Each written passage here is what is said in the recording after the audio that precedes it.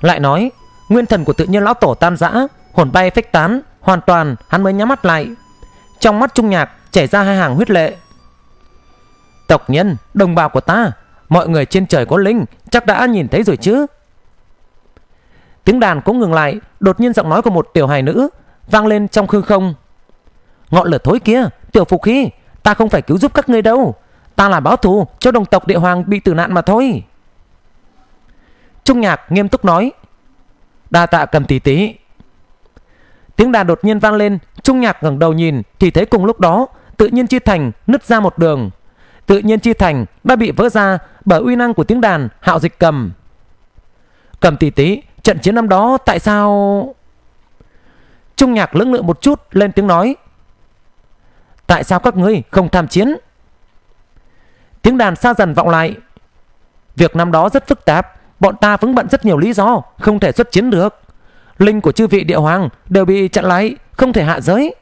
Băng sơn ngươi thấy trên mặt nước là một góc của băng sơn, Còn phần to lớn dưới nước Và âm mưu thì ngươi không nhìn thấy được. Tiếng đàn biến mất, Hạo dịch cầm đã trở về đế lăng. Trung nhạc trầm mặc, Ngay cả linh của đế hoàng cũng bị chặn trong hư không giới, Không thể giả hạ giới hay sao? Đây là kẻ như thế nào Lại có sức mạnh đáng sợ như vậy đây? Tinh thần của hắn bỗng trở nên phấn chấn, cười nói, Đại Trần Lão Mẫu, Giờ nên giải quyết vấn đề giữa chúng ta rồi. Đại Trần Lão Mẫu nổi da gà, Vội cười nói, Trung Sơn Thí, Ta tưởng thời gian vừa qua Giao tình giữa chúng ta không tồi. Uhm... Nó vung hai cái càng, Nhằm cổ và eo Trung Nhạc cắt tới, Đồng thời cái mông vươn cao, Từ sau mông bắn tơ về phía Trung Nhạc. Trung Nhạc cúi người nói Đại Trần Lão Mẫu, Ngươi đừng phản kháng nữa, Phản kháng cũng vô ích thôi. Vào khoảnh khắc hắn cúi người, Thần dược đao trong các quần sáng sau lưng hắn bay ra, Một đao chém đứt hai cái càng, Chém đứt vô số tơ nhện. Đại Trần Lão Mẫu vù một tiếng, Biến thành nguyên hình, Thân hình xoay tít. Những chiếc xương nhọn hoắt quanh người, Giống như răng cưa sắc nhọn, Keng keng va chạm với thần dược đao. Chỉ trong nháy mắt, Đã có vô số chiếc xương bị thần dược đao chém gãy, Nhưng thần dược đao cũng bị vỡ. Bùm bùm bùm. Từng cái bọc độc trên lưng đại chân lão mẫu phát nổ. Khói độc, khí độc và nước độc bắn về phía Trung Nhạc. Uy năng của một lại kia Của Trung Nhạc cũng bạo phát uy lực. Sau lưng vạn thần vây quanh cùng bái lạy Vạn thần triều bái! Uỳnh uỳnh Khói độc, khí độc và nước độc Bị một chiêu này xung kích ngược trở lại. Ngay cả đại chân lão mẫu cũng bị đánh bay ra sau. Đại chân lão mẫu lập tức từ thế bay lên Từ dưới bụng vụt ra các đạo hắc quang Đẩy nó bay lên, chạy ra ngoài thành, Phản ứng cực kỳ nhanh nhạy. Nó biết Trung Nhạc sẽ không bỏ qua cho nó. Lúc trước tự nhiên lão tổ vẫn còn, Trung Nhạc còn cần nó để kiểm chứng phán đoán của mình.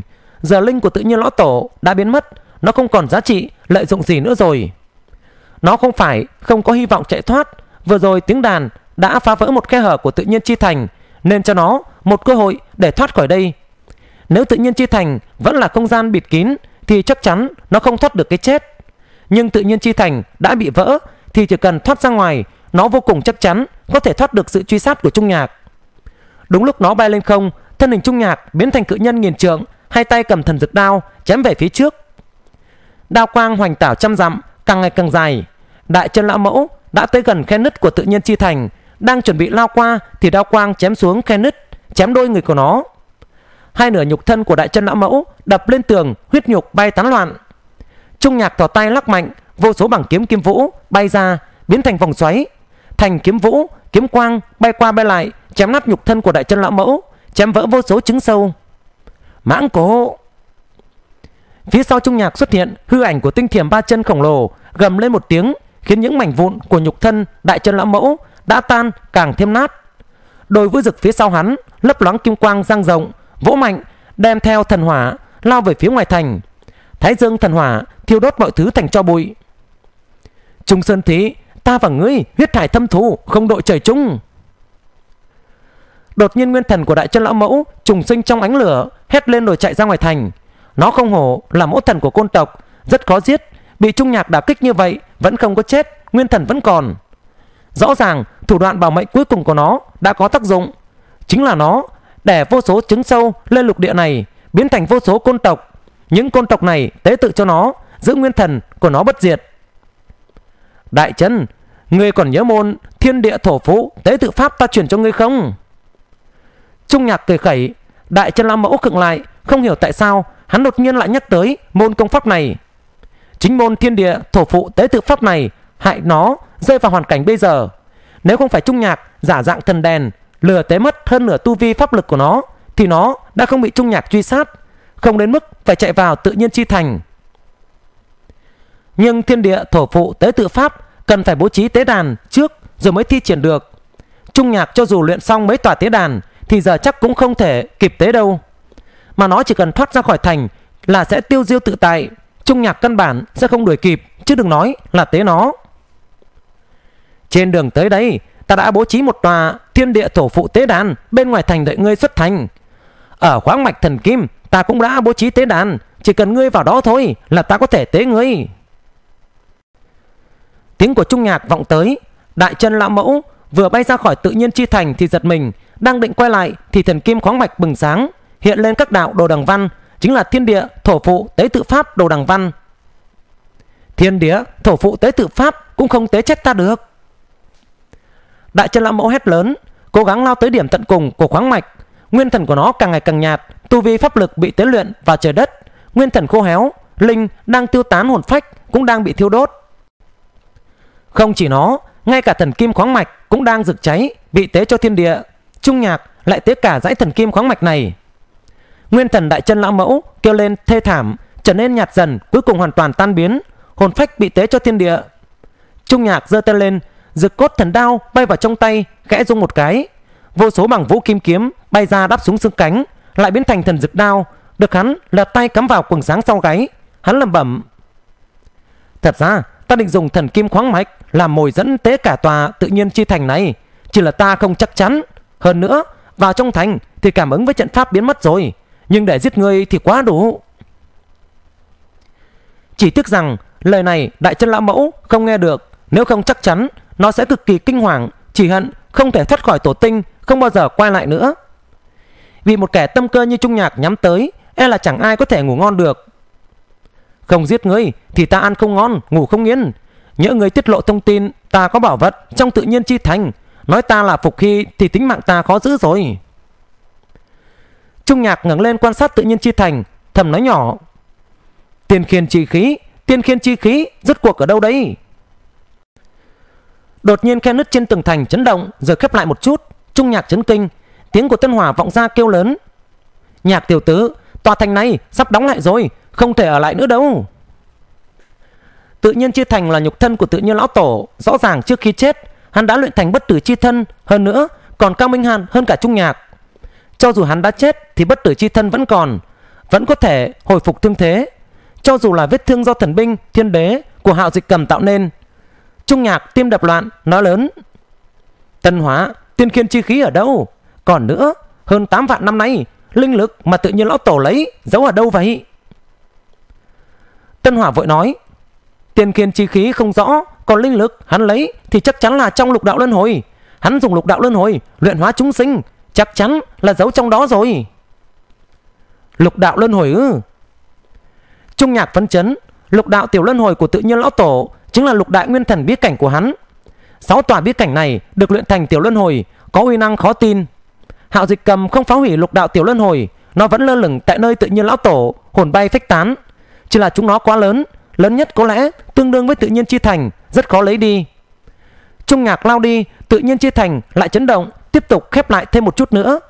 Trung nhạc tế đèn đồng, pháp lực tràn ảo ạt vào cây đèn, cuốn về phía sau quần sáng. Trong cây đèn đồng lập tức bạo phát lực dẫn khủng bố, bóp méo không gian, kéo quần sáng đó vào trong cây đèn. Uỳnh uỳnh. Lại một tiếng chấn động khác, trên tường tự nhiên chi thành, khe hở kia chỉ còn rất hẹp, Trung nhạc sắc mặt kịch biến. Cuối cùng, sáu đạo tiểu luân hồi Cũng bị kéo vào trong cây đèn đồng. Hắn lập tức bay lên, lắc mình, Biến thành kim ô ba chân bay đi. Thân thể của hắn trở nên cực kỳ mảnh, Lao vút qua khe hở trên tường. Lúc này, tự nhiên chia thành chấn động lần nữa, Khép hẳn lại, kẹp chặt cứng ba chân của hắn. Trung nhạc không chấp mắt, Tế bằng vũ kim kiếm, Chém đứt ba chân của mình. Nguy hiểm thật, Nếu kẹp ở cổ thì ta phải chặt đầu mình mất rồi. Không biết khi đó bất tử chi thân của ta có hồi phục được hay không? Trung nhạc thở phào, Trong lòng vẫn còn thấy sợ. Thần kim khoáng mạch vẫn đang rực cháy, Bị tế cho thiên địa. Trung nhạc nhìn khoáng mạch, Có lẽ nó cũng không giữ được nữa, Không thể nào còn giữ thần kim. Đáng tiếc, nếu giữ được dãy khoáng mạch này, Thì kiếm môn của ta mỗi người Sẽ có một món thần binh. Hắn thầm thở dài, Lấy sáu đạo tiểu luân hồi Từ trong cây đèn đồng ra kiểm tra từng cái. Đến khi thấy âm dương luân hồi Hắn thấy cái hố trôn xác kia, Vô số thi cốt của Phục Khi Thị Bị chấn áp dưới đó, Không ngừng bị luyện hóa. Tộc nhân của ta. Trung nhạc sống mũi cay cay, Miệng nở nụ cười mà lệ tuôn rơi. Cùng ta về nhà nào. Hồn quy lai hề giữ quân đồng tại. Hồn quy lai hề, huynh đệ đồng đào. Hồn quy lai hề, thị trí phục hưng. Hồn quy lai hề. Tòa tự nhiên chi thành này, Ta còn sẽ quay lại. Trung nhạc bước ra rìa của dãy thần kim khoáng mạch đã biến thành sắt thường. Hắn đi ra ngoài thầm nghĩ. Đến khi ta quay lại đây, tự nhiên lão tố, ta sẽ tế tử nhục thân của ngươi. Dùng tòa thành này thi triển một trận đại tế tự hoành tráng, quét sạch chứng ngại cho nhân tộc trên tổ tinh của ta. Lại nói, quân tư tà và phương kiếm các hơn một tháng trước đã về kiếm môn. Lần tu luyện này họ đều thu hoạch được rất lớn. Tu thành hỗn nguyên cực cảnh, thậm chí đều đột phá thủy diệu tinh và kim diệu tinh tu luyện tới thông thần cảnh, trở thành đỉnh cấp trong cự phách. Đặc biệt là phương kiếm các về thông thần cảnh hơn quân tư tà một chút, luyện thành cực cảnh trước, luyện hồn binh thành cực đạo hồn binh. Quân tư tà thân là môn chủ, tâm tư không thể hoàn toàn đặt vào việc tu luyện. Thời gian trở thành môn chủ, nàng dần dần bị tụt lại ở phía sau phương kiếm các về tu vi. Phương kiếm các không có gì phải vướng bận, khi còn là chân linh cảnh đã luyện thần kiếm của mình tới cực hạn, tu luyện tới thông thần cảnh tự nhiên sẽ tu thành thông thần cực cảnh, trở thành cường giả mạnh nhất kiếm môn. Cực cảnh của chân linh cảnh là hỗn nguyên chân linh, cực cảnh của thông thần cảnh là cực đạo hồn binh. Trong lịch sử vạn năm của kiếm môn, có tất cả 10 người tu thành cực đạo hồn binh, luyện hồn binh của mình thành thập hung binh. Thủy Tử An chính là một số trong số đó.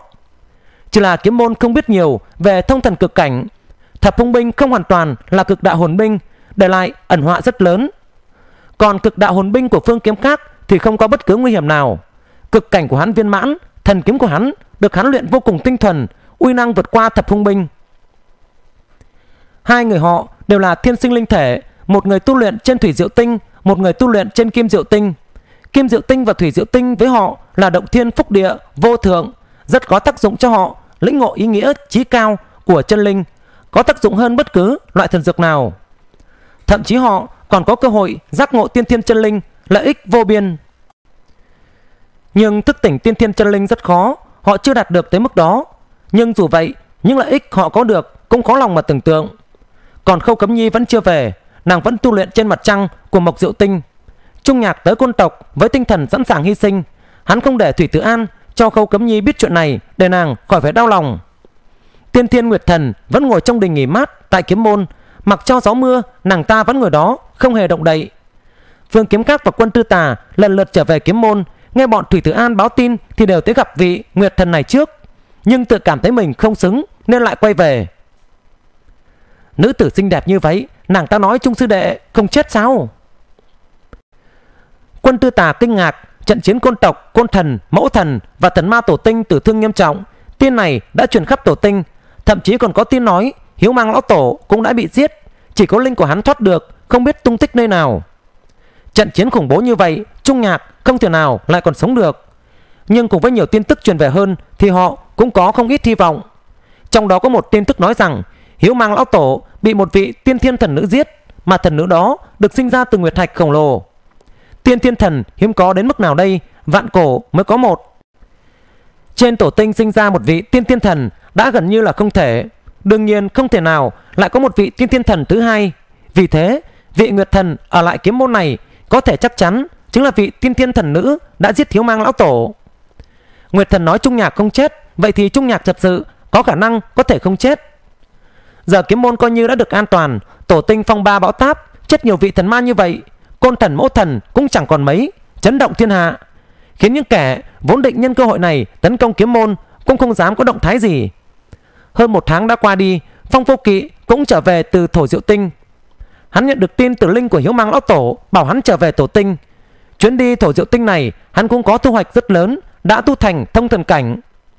Phong Vô Kỵ trở về tổ tinh, tới Hiếu Mang thần miếu, thấy trong thần miếu là các vị tế tự mặc bạch bào, vây quanh bức tượng của hiếu mang lão tổ cúi mình trước bức tượng đó trong một thoáng hắn thấy linh của hiếu mang lão tổ vẫn ở trên bức tượng thì không khỏi cựng người không có nhục thân cho dù là thần linh thì cũng bơ vơ không nơi nương tựa buộc phải tìm một chỗ trú chân bức tượng được tế tự chính là nơi trú chân tốt nhất đối với thần linh.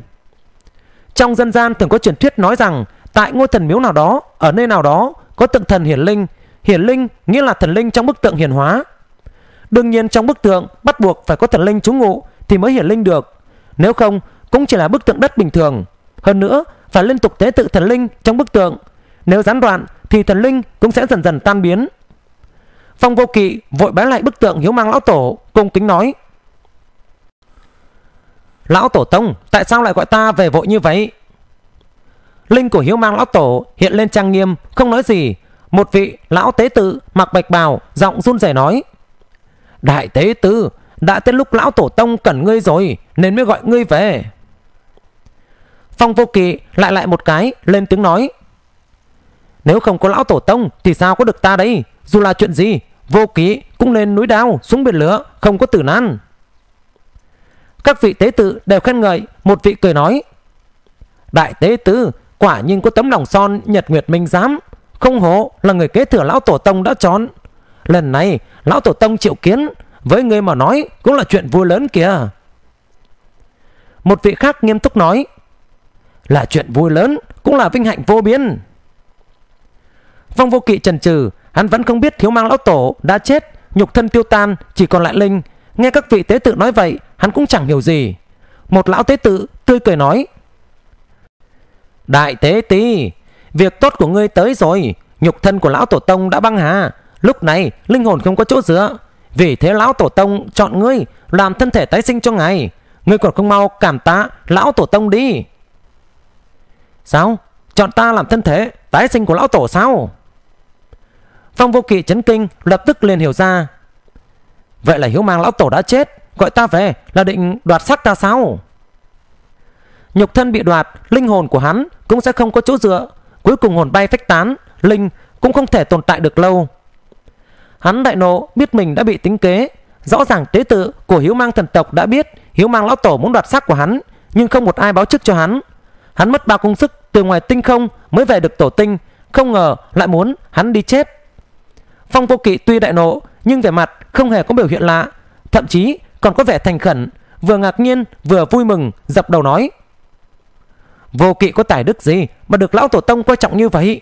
Vô kỵ nghe nói bích tà, vì lão tổ tông của hắn có thể xả thân vì nghĩa. Vô kỵ vô cùng ngưỡng mộ, đến nay không ngờ vô kỵ cũng có cơ hội xả thân vì nghĩa.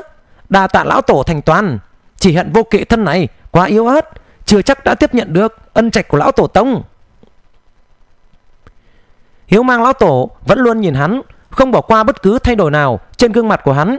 Một lúc lâu sau, thở dài nói, người trùng nghĩa như vậy, ta rất mừng. Ta không nhìn nhầm ngươi, vô ký ngươi ở lại, những người khác lui ra. Vô ký ta sẽ tẩy tủy cho ngươi, cải tạo nhục thân của ngươi cường đại hơn, rồi tái sinh. Ngươi không phải sợ, thời này sẽ không dài, nhanh vài tháng, lâu thì nửa năm phong vô kỵ thành khẩn liên tục dập đầu. Vô kỵ cũng vô cùng nóng lòng.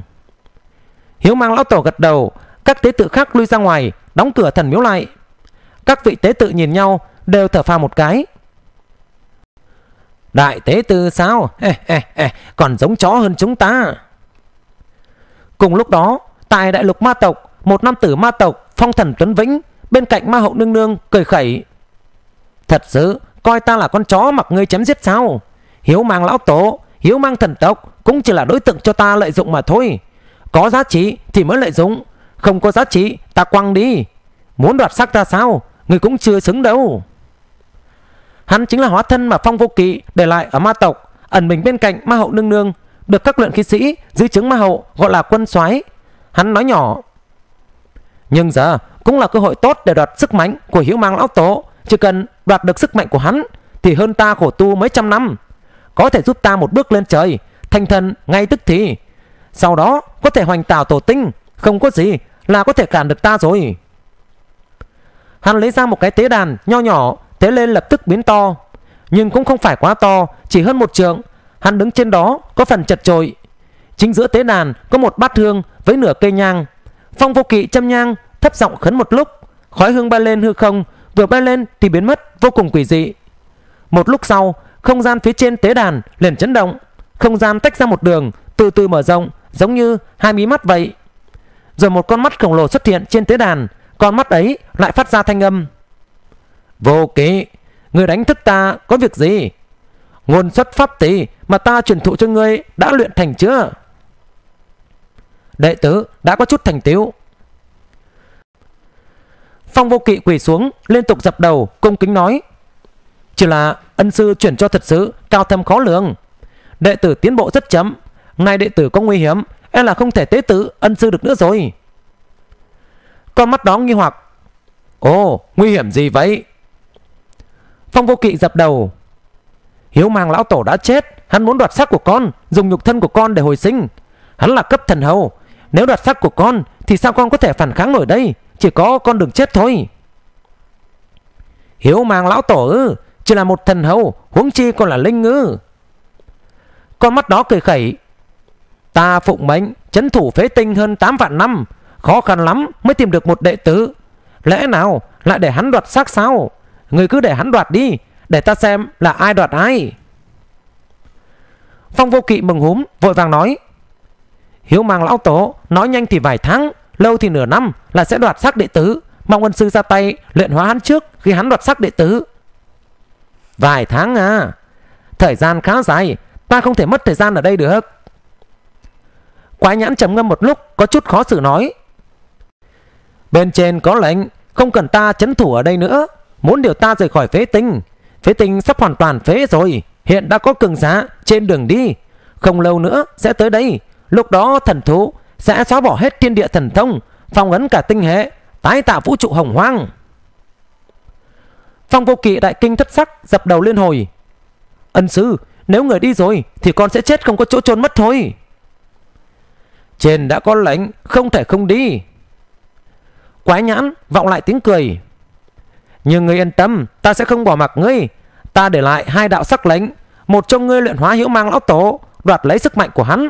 Một cái, ngươi cầm nó là có thể rời khỏi phong ấn tại ngoại giới chân chính. Khi đó ta sẽ đón ngươi tới tử vi đế tinh.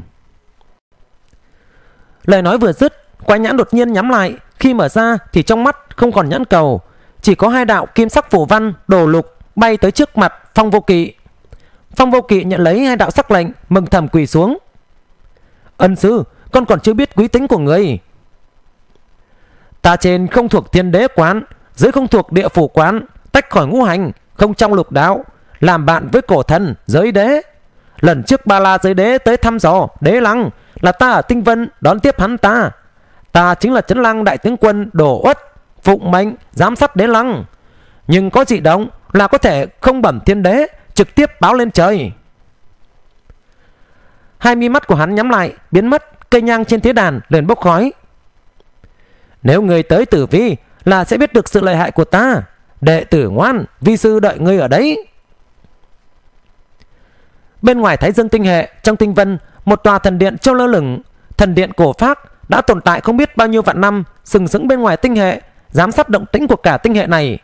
Đột nhiên tòa thần điện chấn động, bay ra khỏi tinh vân, tốc độ ngày một nhanh, nháy mắt đã biến mất trong bầu tinh không bao la. Ma đạo hóa thân của Phong Vô Kỵ cất hai đạo sắc lệnh rồi lập tức xuất phát từ ma tộc vượt biển tới Tây Hoang. Đoạt lấy tu vi của Hiếu Mang lão tổ, tu vi thực lực của ta sẽ đạt tới trình độ nào đấy? Còn có kẻ nào có thể là đối thủ của ta đấy? Phong Vô Kỵ cười ha hả. Đồ uất có thể không bẩm tiên đế, trực tiếp thượng báo lên trên trời. Đây là thân phận, địa vị như thế nào đây? Ta bám được và chỗ dựa vững chắc này, sau này sẽ vượt gấp trăm lần so với chỗ dựa của Hiếu Mang lão tổ. Đáng tiếc không thể thôn phệ cả đồ uất được. Nếu luyện hóa được cả hắn Thì tu vi thực lực của ta sẽ tới mức nào đấy Duyên phận giữa hắn và Đỗ Uất Là từ một cơ ngộ của hắn. Phong vô kỵ cũng khá may mắn, Một lần đi du ngoạn, gặp được một tòa cổ mộ, Tìm được thi cốt của chủ nhân ngôi mộ Và một cái tế đàn nhỏ. Trên đó còn có nửa cây nhang. Hắn thắp nhang lên, Mắt của Đỗ Uất hiện lên, Nói có duyên với hắn. Truyền thụ cho hắn công pháp thần kỳ, Ngôn xuất pháp tùy. Mà lúc này, Trung Nhạc đang ngồi trên lưng Giao Long mà hắn quan tưởng. Giao Long lao về phía trước, vượt biển về hướng kiếm môn sơn. Tự nhiên lão tổ đúng là cực kỳ cường hãn, lĩnh ngộ về lục đạo luân hồi cũng đạt tới mức cao thầm khó giò. Hắn lấy ra lục đạo luân hồi của tự nhiên lão tổ tìm kiếm từng cái một. Cảnh giới của tự nhiên lão tổ với hắn mà nói vẫn là quá cao. Muốn nghiên cứu hết bí mật trong lục đạo luân hồi của hắn thì mất rất nhiều thời gian. Nhưng dù vậy, hắn cũng có lợi ích không nhỏ. Lục đại bí cảnh của tự nhiên lão tổ được hắn luyện thành lục đạo tiểu luân hồi, lần lượt là đạo nhất luân hồi, âm dương luân hồi, thần tài luân hồi, vạn tượng luân hồi, ngũ hành luân hồi và huyết mạch luân hồi. Mỗi một cái lại tự hình thành hệ thống riêng, mỗi cái một tác dụng riêng. Thời gian này Trung Nhạc nghiên cứu lục đạo luân hồi đã có những hiểu biết sơ bộ. Đạo nhất luân là nơi bàn cổ thần nhân ở, tác dụng hắn chưa rõ lắm. Âm dương luân chủ âm dương sinh tử, thần tài luân trưởng quản tiên địa thần còn gọi là tam hồn. Vạn tượng luân trưởng quản số mệnh, ví dụ như ra đời phú quý vận tiện, sinh vận đạo, tài phú, phu thê, nhi nữ, cơ hội vân vân bao la vạn tượng. Ngũ hành luân chủ căn cốt tư chất trí tuệ liên quan tới thành tựu tu hành sau này của luyện khí sĩ. Huyết mạch luân thì liên quan tới huyết mạch, cũng có nghĩa là sau khi rơi vào luân hồi sinh ra chủng tộc gì, huyết mạch cao thấp ra sao. Muốn luyện lục đại bí cảnh thành lục đạo luân hồi, cho dù là tiểu luân hồi thì cũng cực kỳ khó. Cảnh giới hiện tại của ta căn bản không thể làm được. Trung Nhạc lắc đầu, biến lục đại bía cảnh thành lục đạo luân hồi với hắn mà nói thì quá cao thâm, nhưng có những sự lĩnh ngộ hắn có thể tiếp nhận biến thành thần thông của bản thân hắn. Quan trọng hơn là hắn tìm thấy linh lực của vạn vật chúng sinh mà tự nhiên lão tổ đã luyện hóa. Nếu tu vi cảnh giới của tự nhiên lão tổ cao thêm vài phần, tiểu luân hồi biến thành đại luân hồi, hắn thậm chí có thể thống trị cả vận mệnh của mọi sinh linh trên tinh cầu này. Xuất thân chủng tộc, tư chất, mệnh số của mọi sinh linh, lúc nào sinh, lúc nào chết, tất cả đều nằm trong sự kiểm soát của hắn. Có thể nói, hắn muốn ai sống thì người đó sống, Muốn ai chết thì người đó phải chết.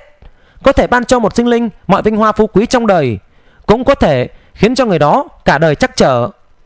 Đương nhiên tự nhiên lão tổ vẫn chưa đạt tới trình độ đó Hắn chỉ có thể tới mức như âm dương luân hồi. Có thể nắm giữ sinh tử mà thôi. Không biết nắm giữ sinh tử trong tay Là người có tầng thứ thế nào Ở trên tử vi đế tinh đấy Trung nhạc thầm nghĩ ngợi. Ngoài ra, thu hoạch quan trọng nhất của hắn Là linh lực trong lục đạo tiểu luân hồi. 8 vạn 6 nghìn năm nay, tự nhiên chi thành, luyện hóa thi cốt của phục hy thị và thần ma di chứng tự nhiên lão tổ, luyện hóa linh lực của tất cả sinh linh trên cả lục địa này, luyện hóa tất cả thần kim khoáng mạch trên lục địa, luyện hóa mọi thần binh, ma thần binh. Số linh lực tích lũy được sẽ khủng bố tới mức nào đây? Số linh lực này được hắn cất giữ trong đạo nhất luân hồi nguyên thần của trung nhạc và trong đó thấy linh lực khủng bố tập trung biến thành một cái ngọc trì linh lực tập trung dưới hồ không ngừng tỏa ra vô số loại ánh sáng Ngoài cái hồ tập trung để linh lực này là bàn cổ thần nhân, bàn cổ thần nhân của tự nhiên lão tổ tỏa hào quang chớ lòa, ngưng tụ bàn cổ thần nhân trở thành thực chất. Bàn cổ thần nhân của Trung Nhạc trước mặt bàn cổ thần nhân của vị tự nhiên lão tổ này thì đúng như một ngọn nến trước một vầng mặt trời vậy. Lục đạo chi lực ở đây rất đậm đặc, hít thở cũng có lục đạo chi lực tràn tới, khiến cho bàn cổ thần nhân của hắn mạnh hơn. Nghiên cứu bản cổ thần nhân của tự nhiên lão tổ có thể giúp cho ta biết thêm nhiều sự ảo diệu của lục đạo hơn. Nguyên thần của Trung Nhạc bay tới Ngọc Trì, nheo mắt nhìn chăm chú. Linh lực trong hồ tỏa ra thần quang vô cùng vô tận. Ánh sáng giống như biến thành dịch thể. Ánh sáng chói mắt. Loại ánh sáng này khá giống với ánh sáng mà hắn thấy dưới lòng đất trong tự nhiên chi thành nhưng mãnh liệt hơn. Linh lực hóa thành quang dịch có tác dụng gì đây? Hắn quan sát quang dịch biến từ linh lực có chút chần chừ Linh lực này được chiết xuất từ thi cốt của vô số thần ma, còn có cả thần binh, ma thần binh, thần kim khoáng mạch và cả từ trong cơ thể sinh linh trên đại lục. Tuy biết linh lực hiếm có, nhưng loại linh lực này rốt cuộc có tác dụng gì? Tân hóa, linh lực mà tự nhiên lão tổ luyện hơn 8 vạn năm nay và tiên thiên chi khí của hắn rốt cuộc cái nào hơn đấy? Trung Nhạc đột nhiên hỏi. Đương nhiên là tiên thiên chi khí rồi. Tân Hỏa đáp. Tiên thiên chi khí có thể gặp mà không thể cầu, còn linh lực có thể chiết xuất từ vạn vật. Về đẳng cấp mà nói, tiên thiên chi khí hơn linh lực rất nhiều. Nhưng linh lực ở đây thì không phải tầm thường, chỉ chiết xuất từ bảo vật tốt nhất trong thần binh được tự nhiên lão tổ chiết xuất ra. Hơn nữa, phần lớn đều là quang dịch được chiết xuất từ thần ma và thần kim khoáng mạch, đã đạt tới cấp bản nguyên kim dịch rồi. Tuy không bằng tiên thiên chi khí của tự nhiên lão tổ, Nhưng giá trị cũng không kém hơn bao nhiêu đâu. Sao? Bản nguyên kim dịch ư? Lẽ nào có thể biến thành thần kim ư?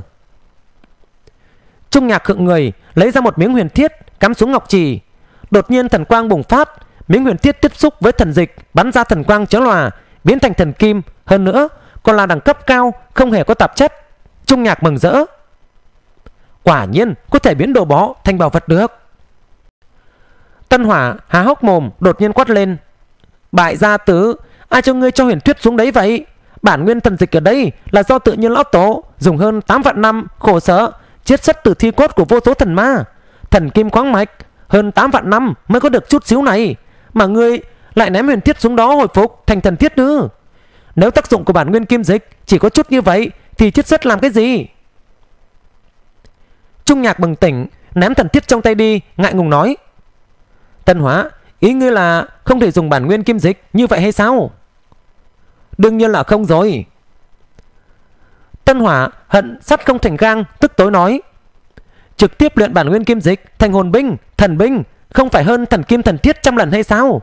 Ngươi lại biến kim dịch thành thần kim Phẩm chất tụt giảm rồi. Hey, cũng may vẫn chưa lãng phí nhiều. Trung nhạc kiểu ra Bản nguyên kim dịch không phải dịch thể Mà nằm giữa ánh sáng và dịch thể. Miếng huyền thiết vừa rồi biến thành thần kim có lẽ chi tiêu hao tới một giọt. Ta tu luyện tới chân linh cánh Chỉ cần luyện thành hỗn nguyên chân linh Đột phá cực cánh là có thể xung kích thần thông cảnh rồi. Hắn thầm tính. Cực cánh của thần thông cảnh Có cực đạo hồn binh Tuyệt đối không thể tu thành cực cảnh. Ta cũng nên tu luyện một món hồn binh của bản thân rồi. Thần binh, ma hồn binh Tuy là tốt Nhưng dù sao cũng không phải của mình. Muốn tu thành cực cảnh của thông thần cảnh Thì buộc phải có một món hồn binh của bản thân Tu luyện hồn binh tới cực cảnh. Kiếm môn tới nay sáng lập hơn một vạn năm Chỉ có 10 vị trưởng lão bước vào thông thần cực cảnh Mà chưa có bất cứ vị môn chủ nào tới trình độ này. Nguyên nhân không phải tư chất của môn chủ không bằng 10 vị trưởng lão đó, Mà là do môn chủ trưởng quản tượng trưng cho môn chủ, Đại tự tại thần kiếm. Sau khi bước lên vị trí môn chủ, Thì phải tế luyện đại tự tại thần kiếm ngày đêm, Tâm tư không đặt và hồn binh mấy. Do vậy, lịch sử các đời môn chủ Chỉ có một người tu thành thông thần cực cảnh.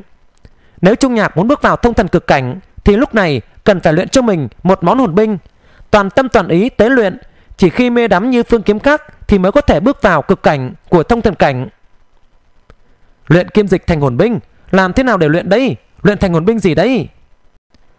Hắn thầm suy nghĩ, Đột nhiên Trung Nhạc mở mắt nhìn về phía xa Gạt việc luyện chế hồn binh sang một bên, Hắn đứng dậy. Kiếm môn đã ở trước tầm mắt, Cả tòa kiếm môn đang răng đèn kết hoa. Vô số đệ tử đứng đầy đường đón, Quân tư tà dẫn theo trên dưới kiếm môn Đang đợi hắn về. Rõ ràng, khi hắn bước vào địa giới đại hoang Là tứ minh thú trên kim đỉnh Đã thấy thân ảnh của hắn, Nên thông báo cho mấy người quân tư tà. Quân tư Tả đích thân dẫn mọi người ra đón, Có thể nói là thanh thế cực lớn. Ta trở về rồi. Trung nhạc nhớ lại mình, Rời khỏi kiếm môn, Chính là do thần ma tổ tinh ép buộc. Các tộc trên tổ tinh đưa hắn tới Trước mặt côn thần mẫu thần Để xử chết hắn. Giờ côn thần mẫu thần và cả thần ma tổ tinh Đều tử thương nghiêm trọng, Còn hắn thì sống sót trở về. Ta trở về rồi. Trung nhạc cười thật lớn, Tiếng cười kinh thiên động địa, Chấn động tứ phương Hào tình vạn trường Thích phóng mọi sự phẫn nộ Sự ủy khuất trước kia qua tiếng cười này. Trên kiếm môn sơn Đột nhiên tất cả đệ tử kiếm môn Đều cú lại hiên viên kiếm. Một đạo kiếm quang bắn lên hư không Cắt qua đại khí tầng tầng đón hắn trở về. Đạo kiếm quang này chấn động thiên hạ Khiến thần miếu, thánh địa ở các khoang khác run rẩy. Thần linh thần binh mà các tộc tế bái Bất giác tự hiện ra uy năng cũng kinh thiên động địa. Đọ với hiên viên kiếm Nhưng bị thua dưới một bậc. Trên kiếm môn sơn Vô số giọng nói tụ thành một đạo hồng lưu. Cùng ngành trung trưởng lão trở về. Trong âm thanh hùng hồn đó, Quân tư tà phì cười. Chúng tai hóa. Lúc này, các quan, các thành ở kiếm môn, Các tộc đều có thám tử, thám thính thông tin, Được biết Trung Nhạc trở về. Luyện kỵ sĩ các tộc lập tức tế đồ đằng, Thần trụ, truyền tin về đầu não các tộc. Trung Nhạc trở về, Thiên hạ bỗng chốc ồn ào, Còn chấn động hơn cả tin về hiên viên thần kiếm. Trung tai họa đã sống để trở về Trung tai họa sống trở về Còn chư thần của tổ tinh thì tử thương thảm trọng Đến nay mấy vị thần ma may mắn sống sót vẫn trọng thương không xuất hiện Thậm chí có một vị thần minh trọng thương buộc phải trốn về côn luân cảnh để tránh nạn. Còn côn thần mẫu thần may mắn sống sót thì đã ẩn mình không còn thấy tung tích đâu nữa. Lãnh địa côn tộc bị đại hoang xâm chiếm, công khai chiếm làm của mình. Thần ma có kẻ chết có kẻ bị thương, còn một mình luyện khí sĩ nhân tộc lại bình an trở về, không một vết xước. Việc tuyệt đối không thể xảy ra đã xảy ra rồi. Chung tai họa của nhân tộc, người như tên, đúng là tai họa của thiên hạ, lại sống từ trận chiến ác liệt đó. Thậm chí còn có tiên đồn nói thảm án này là do Trung Nhạc gây ra.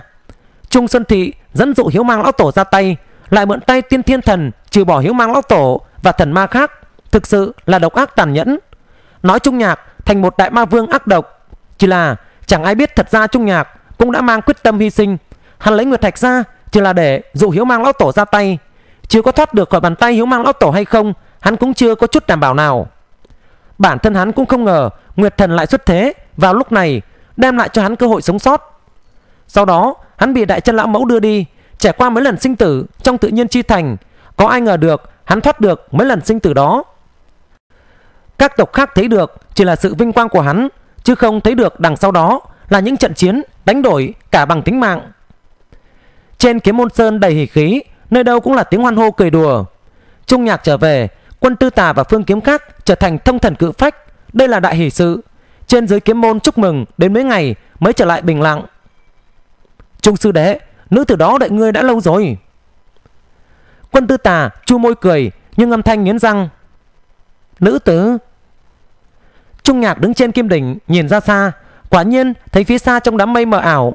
Trong ngôi đình nghỉ mát trên vách núi, có một nữ tử đang ngồi ở đó.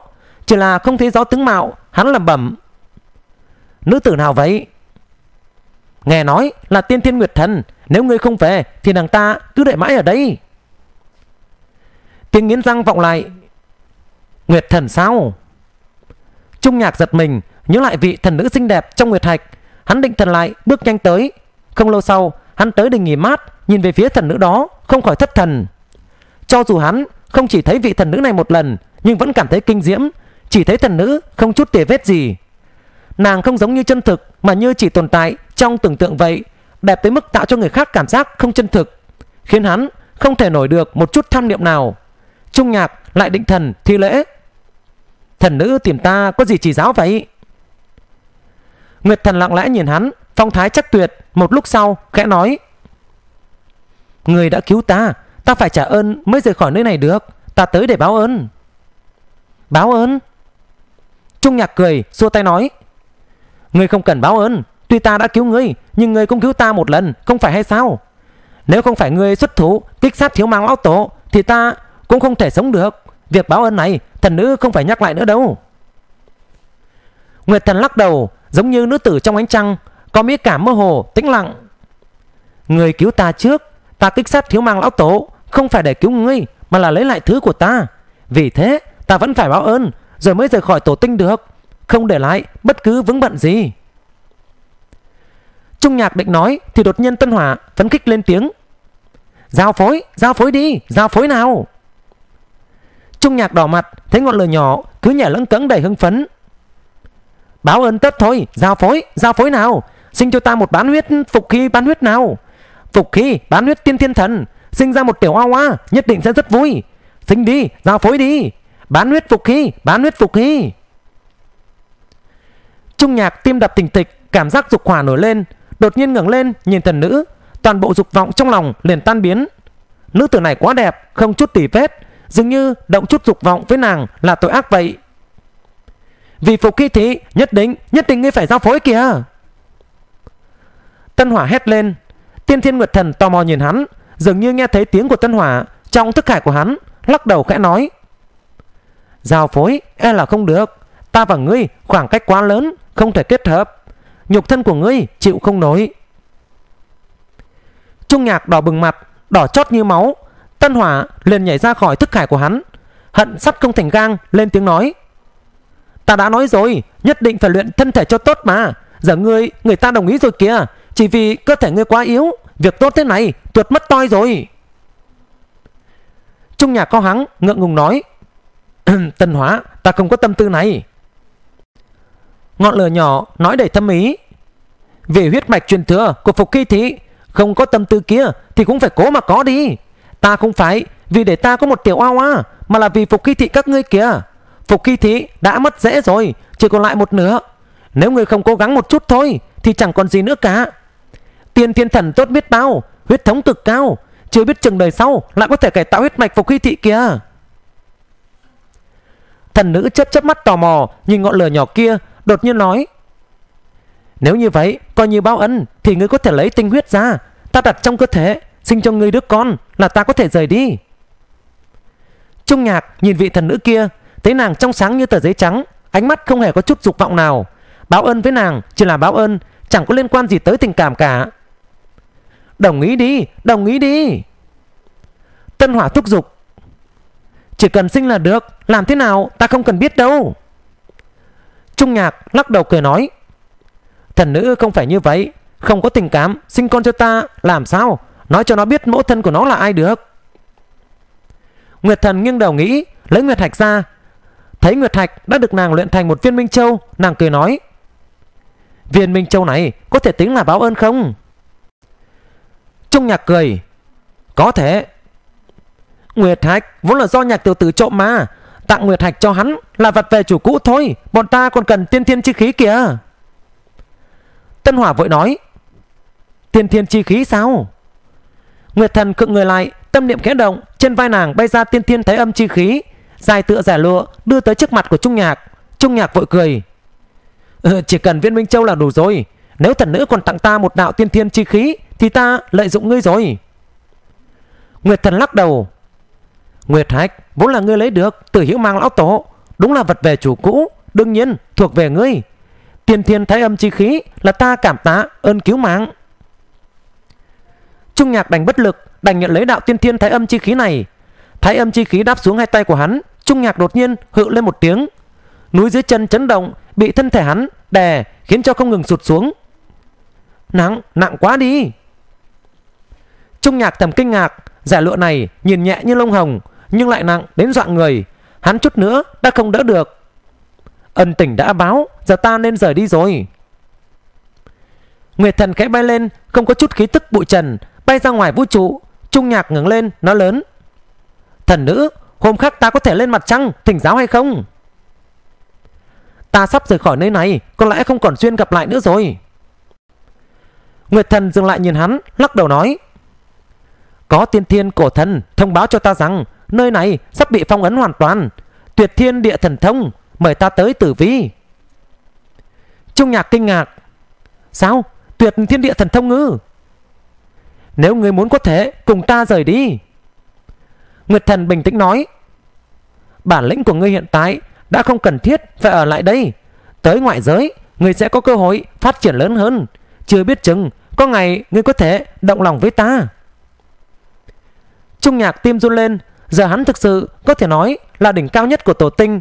Dưới thần ma không ai là đối thủ của hắn. Tổ tinh với hắn mà nói, Đúng là quá nhỏ, Rất khó có không gian phát triển. Nếu có thể tới ngoại giới, Nơi có vùng đất rộng lớn hơn, Gặp người giỏi hơn Chắc chắn hắn sẽ tiến bộ rất nhanh. Chỉ là khi hắn nhìn thấy kiếm môn sơn, Thấy đệ tử kiếm môn, Thấy quân tư tà trước thánh điện Thì hắn đã quyết định Trung nhạc cười vẫy tay. Nguyệt thần, Ngươi cứ đi trước đi, Ta sẽ tới tử vi tìm ngươi. Nguyệt thần gật đầu mỉm cười Rồi nhẹ nhàng bay đi. Vị tiên tiên thần nữ này Đúng là kỳ lạ mà. Tân Hỏa lại trở về thức hải của Trung Nhạc than vãn nói Cơ hội tốt như vậy, Đáng lẽ ngươi phải thử xem sao. Tốt xấu gì, cũng phải để nàng ta sinh ra đứa con.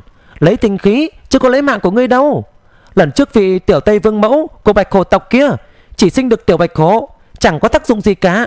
Không phải, ngươi cũng chồng mông Chủ động cho lấy tinh khí đó sao? Đúng là mất mặt mà. Lần này lại mất mặt nữa rồi. Trung Nhạc không nói được gì. Tân Hỏa nói vậy, đúng là không sai. Đối mặt với Nguyệt Thần, Hắn đúng là có chút tự thấy mình không bằng. Tự giác không tiếp xúc với Nguyệt Thần, Chỉ lấy tinh khí làm nàng mang thai thôi Cũng là xúc phạm nàng. Nữ tử này quá đẹp, Khiến người ta không thể nào quên. Nhạc tiểu tứ, Người nhất định phải luyện cho tốt thân thể vào. Lần sau, có chuyện tốt thế này Thì tuyệt đối không được tuột mất đâu. Tân Hỏa đầy tâm ý nói. Trung nhạc một lúc lâu sau Mới thoát được khỏi sự đẹp đẽ kia, Đi tới Kim Đỉnh Thánh Điện. Quân tư tà cười nói. Tiểu tình nhân, mời ngươi cùng đi, Sao ngươi không đi đi? Trung nhạc thản nhiên cười. Ta không nỡ bỏ ngươi. Hừm, dẻo mồm. Quân tư tà trợn mắt nhìn hắn Quay người đi vào thánh điện. Vào khoảnh khắc nàng quay đi Gò má của thiếu nữ môn chủ này phiếm hồng Tim đập loạn như chú hiêu nhỏ đang chạy vậy. Và mọi người. Trung nhạc nói nốt mấy chữ cuối cùng Cũng không biết vị môn chủ này có nghe thấy không. Hắn lắc đầu Nguyệt thần có vẻ đẹp của Nguyệt thần Nhưng quá cao quá nhã Lạnh tựa ánh trăng Không có tình cảm con người. Quân môn chủ cũng có vẻ đẹp của quân môn chủ Chân thực hơn Khiến cho hắn cảm giác như bỗng từ trên trời trở về nhân gian vậy. Quân tiểu ngưu cũng không tồi Thích hợp để giao phối kìa. Còn cả khâu tiểu ngưu um, Còn cả mấy ma nữ Còn cả bạch tiểu ngưu. Tân hỏa cứ lại nhảy luôn mồm. Nguyệt thần không thành Thì mở rộng phạm vi tung lưới đi Chưa biết chừng lại trúng một người. Trung nhạc đi tới nguyên thần bí cảnh của Dư Văn Cử Thấy đông đảo cường giả kiếm môn tập trung tại đấy Đều đang đối diện với tấm vảy Chiếu rọi bản thân. Tấm vảy không rõ lai lịch kia Có thể nói là có tác dụng với kiếm môn Còn lớn hơn mọi thần binh lợi khí. Có tấm vảy này chiếu rọi, Có thể thấy rõ đều còn kiếm khuyết của bản thân để hoàn thiện Phát huy tiềm lực tiềm năng để tiến bộ. Thậm chí ngay cả Thủy Tử An đã tiêu hao cạn tiềm năng, tiềm lực thì lần này trở về Trung Nhạc cũng thấy hắn có tăng tiến, thực lực tăng lên không ít. Tu luyện tới mức của Thủy Tử An, kiếp này cơ bản đã tới cực hạn, không thể nào tăng tiến tiếp được nữa. Nhưng tấm vải này chiếu rọi lại giúp cho hắn tiến bộ, có thể thấy được món thần vật này phi phàm tới mức nào. Tấm vải đó cực lớn, đủ để cho mấy vạn người cùng xem một lúc, chỉ có để trong nguyên thần biết cảnh của thần minh thì mới không kinh động thiên hạ. Trung Nhạc đứng trước tấm gương đó, tỉ mỉ quan sát mình, sửa chữa lại những ẩn họa của nhục thân nguyên thần. Lần này, hắn trải qua ác chiến, tuy thương thế đã lành, thế nhưng vẫn để lại rất nhiều ẩn họa. Nếu giờ không loại bỏ thì chắc chắn sau này sẽ hạn chế thành tựu và tốc độ tu luyện của hắn. Hắn tu luyện tự thân tới hoàn hảo, không thiếu sót mới bắt đầu bế quan, cẩn thận suy nghĩ rốt cuộc mình nên luyện chế món hồn binh gì. Nhạc tiểu tứ, ngươi không luyện hồn binh mà lên luyện nguyên thần trước đi. Tân Hỏa nhảy ra Ngồi trên chắn hắn cười nói Luyện nguyên thần trước là tốt nhất rồi Chân linh cánh. Thật ra có hai đại cực cánh. Trong đó, một là hỗn nguyên chân linh, Hai là tiên thiên chân linh. Người có toại thú, có thể luyện kim mô chi linh Thành tiên thiên chân linh, Cộng với đạo tiên thiên chi khí kia, Có thể tu được cả nguyệt linh thành tiên thiên chân linh. Nhật nguyệt song linh đều tu thành tiên thiên chân linh Là có thể giúp nguyên thần phục khí của ngươi cường đại hơn rồi. Nếu tu luyện tới thông thần cực cánh, Thì có thể đấu với cả thần ma nữa rồi. Trung nhạc tim khẽ động. Tiền thiên chân linh Bao lâu là có thể luyện thành vậy? Ừ, Nhanh thì 10 năm Lâu thì trăm năm. Trung nhạc lắc đầu Như vậy quá lâu Nguyệt thần trước khi đi Nói tổ tinh sắp bị tuyệt thiên địa thần thông. Có lẽ không lâu nữa Sẽ thành hiện thực. Làm gì có thời gian trăm năm cho hắn đây? Kiếm môn có chữ kiếm Đệ tử kiếm môn từ xưa tới nay Đều chủ yếu luyện kiếm khí cả Dĩ kiếm vi bán. Kiếm là vương đạo Đường đường chính chính thủ thành hay khai thác đều được cả. Chỉ là kiếm và công pháp của ta cũng có chỗ tương hợp. Thần ma thái cực đồ của ta âm dương biến hóa, thần ma biến hóa, nhất kiếm phân song nhận. Một lưỡi âm, một lưỡi dương, một lưỡi đại diện thần, một lưỡi đại diện ma. Nhưng kiếm trung chính hài hòa, tuy đường đường chính chính nhưng thiếu biến hóa, thủ không đủ, tiến lui cũng không đủ. Trung nhạc quan tưởng phục khí đồ mà hạo dịch đế truyền thụ, phục khí chân nhật dưới nguyệt là chữ dịch Chữ dịch chứa rồng nhưng không dùng Dịch nghĩa là biến hóa Là âm dương, là thần ma, là phục khi Kiếm bất thành rồi. Thần ma thái cực đồ của ta Thích hợp với ta nhất Đương nhiên là một cuốn trận đồ. Trận đồ bao la vạn tướng Có thể chứa cả thần ma thái cực đồ của ta. Trận đồ triển khai Có thể thi triển mọi công pháp thần thông của ta. Các loại biến hóa Chỉ là trận đồ tiến thủ không đủ Thủ thành thì lại có thừa. Còn ô sao? Ô cũng có thể luyện thần ma thái cực đồ của ta vào. Cầm ô có thể thủ, Cụp ô có thể thủ, Mở ô có thể công. Hồn binh của phong vô ký chính là ô. Một ô trong tay tiêu sái phong lưu, Chỉ là phong lưu có thừa Mà tiến thủ lại không đủ. Tế đàn ư? Nếu luyện thành vạn thần tế đàn, Các thần ma thái cực đồ lên đó, Tiến có thể vạn thần tế tứ, Luyện hóa đối thủ. Lui, có thể vạn thần tế ta, Khiến chiến lực bạo tăng. Chỉ là có tế đàn thì phải bảo vệ tế đàn. Công thế quá nhỏ, Khí phách quá nhỏ, Không được. Bạch khẩu có băng lâu Đồng quy vu tận với mẫu hoàng. Băng lâu chấn áp mẫu hoàng thông đạo năm vạn năm. Có thể nói là dị báo Chỉ là lầu có chấn áp luyện hóa chi lực. Công kích vẫn không đủ Không đủ mạnh. Đỉnh ngư Luyện hóa thai ngén. Tam túc đỉnh là cái thùng cơm. Tứ túc đỉnh mới là lợi khí chấn áp bốn phương đại biểu cho khí vận tịnh vượng. Nhân tộc ta nhỏ bé, không nhiều địa bàn cần chấn áp khí vận, đỉnh không dùng được. Chuông, chuông kêu còn được, kêu là kinh người, đại diện âm luật, quang âm, luyện trung thành báo, hướng tới trường sinh, bất tử, trường tồn cùng thế gian. Sống quá lâu chưa chắc đã hay, không bằng oanh liệt một đời, chuông cũng không được. Ấn nữ, đại diện cho quyền lực, nhất ấn chiếu sơn hà. Nhân tộc ta nghèo rất mùng tơi, Tự giữ mình còn khó Làm gì có quyền lực mà chiếu dọi sân hà đây Thuyền sao Lái thuyền độ kỷ độ chân Chỉ là dù sao cũng không độ được thế nhân Chỉ có thể độ một số ít người Cũng không được Tháp ư? Tôn nghiêm trang trọng, Một tầng tháp, một tầng trời. Chỉ là tháp trên nhỏ, dưới to, Càng lên cao càng nhỏ. Dù sao thì thượng vị giá cũng quá ít. Phía dưới tháp vẫn là đông đảo chúng sinh, Tháp không dùng được. Phứa nữ, âm tà chi đạo, Tớ lui không tung tích, không được. Cờ sao, quỷ dị chi đạo, không được. Diều ư, Thủ thành bảo tồn chi đạo, không được. Kính ư Minh dám thiếu tâm, Chiếu bản thân là tự luyến, Chiếu người là công kích. Chứ là ích kỷ không được Gậy ư Tiểu ra tử khí Vật của kẻ ngang tàn Châm ư Hey, tử khí của nữ hài Hắn nghĩ tới một loạt hồn binh trước kia từng thấy Nghĩ đi nghĩ lại Vẫn lưỡng lự không quyết định được Hắn đã cần luyện chế hồn binh thì luyện một món phải theo hắn trưởng thành cả đời. Món hồn binh đó phải theo hắn chiến đấu cùng trải qua mưa máu gió tanh. Phải phản chiếu bản thân và đối thủ, phải bảo vệ được, phải khai thác được, phải tiến lui được, phải biến hóa được. Mà thực sự quá ít hồn binh làm được những điều đó, gần như chẳng có loại hồn binh nào như vậy cả. Trung Nhạc nhìn chăm chú hai tay của mình, thầm nói nhỏ: "Toại Hoàng, để lại lửa truyền thừa, Thiếu Hạo, để lại chuông cảnh báo thế gian, Hạo dịch để lại âm luật. Ta có thể để lại cái gì đấy Đôi tay này nên cầm chắc binh đao hay sao? Ta có thể để lại cho hậu nhân Chính là đôi tay này Vượt qua cạm bẫy trông gai. Đi phá cứu cách tân để lại một thịnh thế huy hoàng. Ta chọn luyện song đao, Chém mọi thứ bất công. Song đao hợp là âm dương hợp, Song đao khai, nhất thần nhất ma. Lật tay là ma, Chém mọi ma mỹ Ngửa tay là thần, Chấn áp mọi thứ. Song đao hợp bích, Duy ngã độc tôn. Ta không dùng vương đáo Dùng bá đạo, Dùng sức mạnh và sự sắc bén, Dẹp mọi bất công. Hắn quyết xong chủ ý, Tâm thần lên thoải mái. Tân hóa, ta cần luyện đao Luyện thần ma, thái cực song đao. Luyện đao ư? Tân hỏa nhảy ra, gãi gãi đầu. Luyện đao thì ta không giúp ngươi được rồi. Từ xưa tới nay, Người kế thừa luyện rất nhiều thứ, Nhưng chỉ không có đao. Nếu ngươi luyện binh khí khác thì ta có thể chỉ điểm. Chỉ riêng đao là không thể. Từ cổ chí kim cũng chẳng có mấy người thành danh, chấn động vũ trụ nhờ đao đâu. Từng có một đời người kế thừa, nói múa đao đều là loại thô tục cả. Trung Nhạc cười nói Họ không được, thì chưa chắc ta cũng không được. Bản nguyên kim dịch này làm thế nào để luyện chế thành bảo vật được đấy?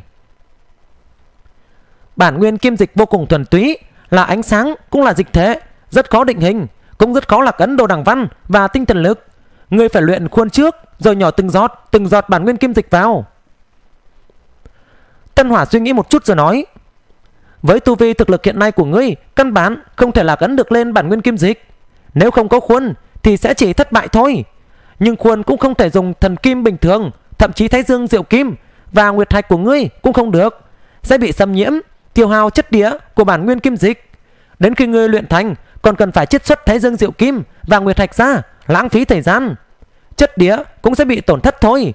Tốt nhất là dùng vật không có hình dạng kia. Trung nhạc mắt sáng lên, lấy đèn đồng ra cười nói, lần trước tới mặt trời ta thu thập được một tia thái dương xạ tuyến và một đạo nguyên tử thần quang. Hai loại thần quang này có thể luyện thành hai món thần đao hay không? Thái dương thần đao và nguyên tử thần đao sao? Tân hỏa sững người gật gù nói, tia xạ tuyến mặt trời và nguyên tử thần quang đúng là không có hình dạng Có thể luyện thành thần đao. Nhưng hai đạo thần quang này uy năng đều rất cường hãn, Tốc độ cực nhanh, Rất khó luyện hóa được. Hơn nữa em là còn nguy hiểm. Trung nhạc căng thẳng nói Nguy hiểm tới mức nào Tân hỏa chấp chấp mắt có phần chột dạ Ừ, cũng không phải quá nguy hiểm, chỉ là nguy hiểm bình thường thôi. Trung nhạc càng thêm cảnh giác, mỗi khi Tân Hỏa nói vậy thì nguy hiểm đều vô cùng khủng khiếp, dù thế nào cũng phải cẩn thận đối phó để tránh luật thiền trong mương. Hắn vặn nắp đèn, định thả đạo Thái Dương xạ tuyến kia ra, nhưng nghĩ lại cảm giác không ổn, bèn lấy ra lục đạo tiểu luân hồi của tự nhiên lão tổ vào trong âm dương luân hồi ở trong đó. Tân Hỏa khen ngợi, vẫn là ngươi cẩn thận, giờ kiếm môn sẽ không bị Thái Dương xạ tuyến xuyên thủng lỗ chỗ nữa rồi. Sao? Thủng lỗ chỗ ư? Trung nhạc dùng mình thở phào, đang định thích phóng Thái Dương xạ tuyến thì lại nhớ tới một chuyện để nhục thân của mình ở bên ngoài. Tân Hỏa ảo não nói, Ngươi quả nhiên rất thông minh Ta còn muốn thấy ngươi thủng lỗ chỗ sẽ như thế nào Giờ chắc không còn nguy hiểm gì nữa chứ Nguyên thần của Trung Nhạc Ở lại trong âm dương biết cảnh, Hít sau một hơi, Thích phóng thấy dương xạ tuyến, Chuẩn bị mà bắt lấy.